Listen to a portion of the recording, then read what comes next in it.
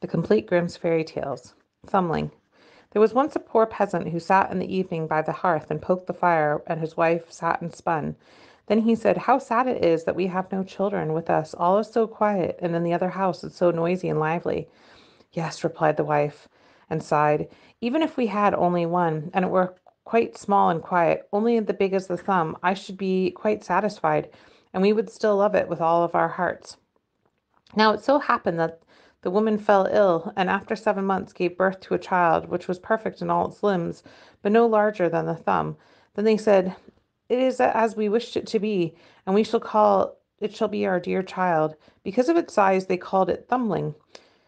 Though they did not let it want for food, the child did not grow taller, but remained as it had been at first. Nevertheless, it looked sensibly out of its eyes, and soon showed itself to be wise and a nimble creature, for everything turned out so well. One day, as the peasant was getting ready to go for, into the forest to cut wood, when he said to him, as if to himself, How I wish there was someone who would bring the cart to me. Oh, father, cried Thumbling, I will bring the cart, rely on that, and it shall be in the forest at the appointed time. The man smiled and said, How can that be done? You are far too small to lead a horse by the reins. That's of no consequence, father. If mother will only harness it, I will sit in the horse in the horse's ear and call out to him how he is to go. Well, answered the man, for once we will give it a try. When the time came, the mother harnessed the creature, or the horse, and placed Thumbling in its ear, and then the little creature cried, Giddy up, giddy up. And then it went quite properly, as if its master and the cart were right away into the forest. It so happened that just as he was turning the corner, that the little one cried, Giddy up! The two strange men came toward him. My word, said one of them, what is this? There's a cart coming, and the driver is calling to the horse, and still he is not to be seen. That can't be right, said the other. We will follow the cart to see where it stops. The cart, however, drove right into the forest, exactly to the place where the wood had been cut. Then Thumbling saw his father and cried to him, Do you see, father, I am here with the cart. Now take me down. And the father got hold of the horse with his left hand, and then with his right took his little son out of the ear. Thumbling sat down merrily on a straw, and then two, the two strange men saw him, they did not know what to say for their astonishment. Then one of them took the other and said, Listen, little fellow, would you, you would make our fortune if we exhibited you in, in a large town for some money. We will buy him. Then they sent the peasant to the peasant said, Sell us the little man. He shall not be treated he shall be well treated by us. No, replied the father, he is the apple of my eye, and all the money in the world cannot buy him buy him from me. Thumbling, however, when he heard the bargain, had crept up in the folds of his father's coat and placed himself on his shoulder and whispered to his ear, Father, do give me away. I will soon come back again. Then the father parted with him to the two men for a handsome sum of money. Where will you sit? He, they said to him. Oh, just set me in the rim of your hat, and then I can walk backwards and forwards and look around the country, and still not fall down. They did as he wished, and when Thumbling had taken leave of his father, they went away with him. They walked until it was dusk, and then the little fellow said, Do take me down, it is necessary. Just stay up there, said the man on whose hat he sat. It makes no difference to me. The birds sometimes let things fall on me. No, said Thumbling. I know its manners. Take me down quickly. And the man took off his hat and put the little fellow on the ground by the wayside, and he leapt and crept about in little between little sods until he suddenly slipped into a mouse hole which he had sought out. Good evening, gentlemen. Just go home without me, he cried to them and mocked them.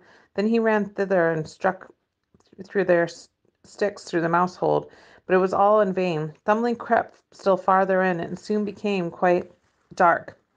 And there they were forced to go home with their vexation and their empty purses. When Thumbling saw they were gone, he crept back out of the subterranean passage. It's so dangerous to walk on the ground in the dark, he said.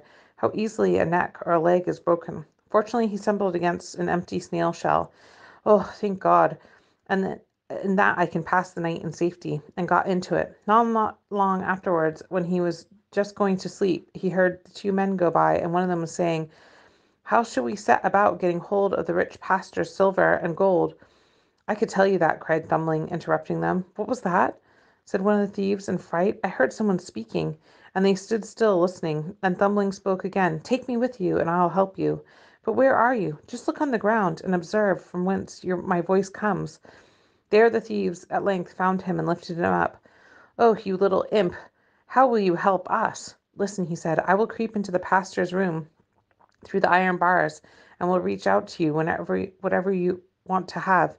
Come then, they said, and we will see what, what you can do.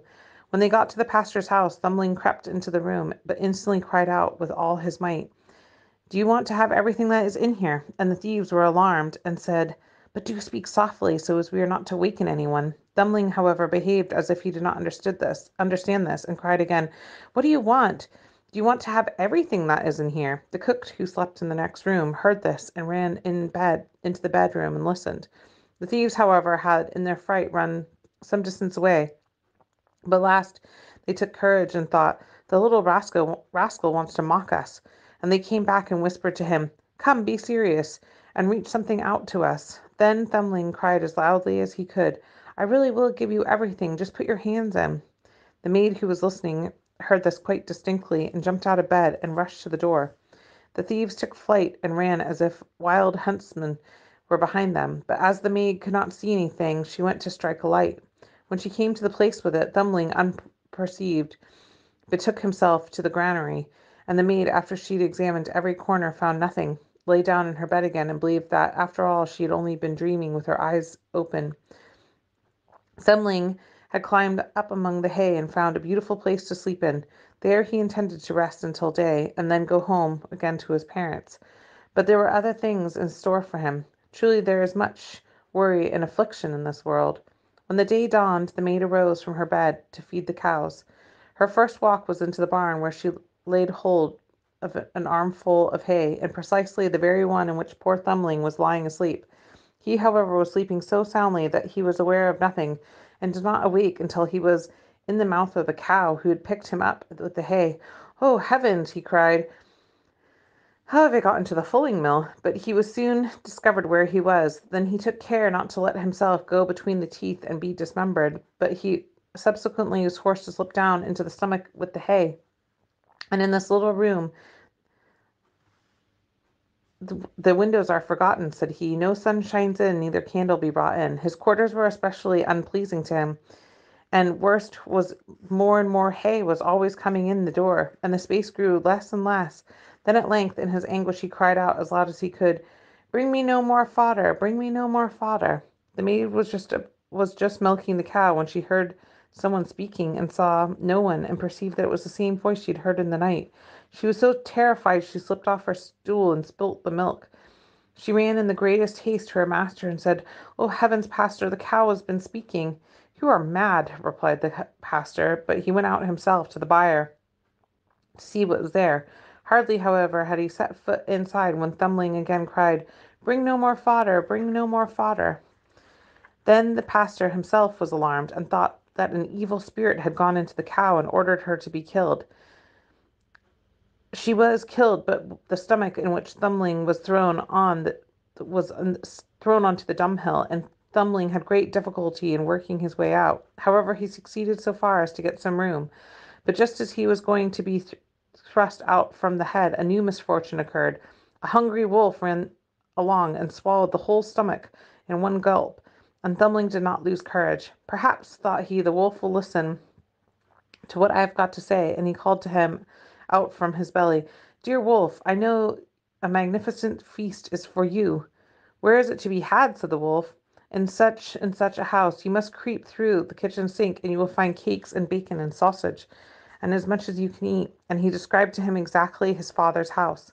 The wolf did not require to be told twice, and squeezed himself in at night through the sink, and ate to his heart's content in the larder. And when he'd eaten his fill, he wanted to go out again, but he had become so big he could not go out by the same way. Thumbling had reckoned on this, and now began to make a violent noise in the wolf's body, and raged and screamed as loudly as he could. Will you be quiet? said the wolf. You will waken these people. What do I care? replied the little fellow. You have eaten your fill, and I will make merry likewise. And began once more to scream with all his strength. At length his father and mother were aroused by it, and ran into the room and looked in through the opening in the door. When they saw that a wolf was inside, they ran away, and the father fetched an axe and the wife a scythe. Stay behind, said the man, and when they entered the room, when I have given him a blow, if he is not killed by it, you must cut him down and hew his body to pieces. Then Thumbling heard his parents' voices and cried, Dear father, I am here, I am in the wolf's body. Said the father, full of joy, Oh, thank God, our dear child has found us again, and bade the woman to take away her scythe, that Thumbling might not be hurt with it. After that he raised his arm and struck the wolf with such a blow that his head fell down, and he fell down dead. Then he got knives and scissors and cut the body open, and drew forth the little fellow. Oh, said the father, what sorrow has gone through us for your sake! Yes, father, I have gone through the world through a great deal, but thank heaven I can breathe fresh air at last. Where have you been then? Oh, father, I have been in a mouse's hole, a cow's belly, and a wolf's paunch. Now I will stay with you. And we will not sell you again. No, not for all the riches in the world, said the parents, and they embraced and kissed their dear Thumbling, and gave him much to eat and drink, and some new clothes were made for him, for his own clothes had been spoiled by the journey.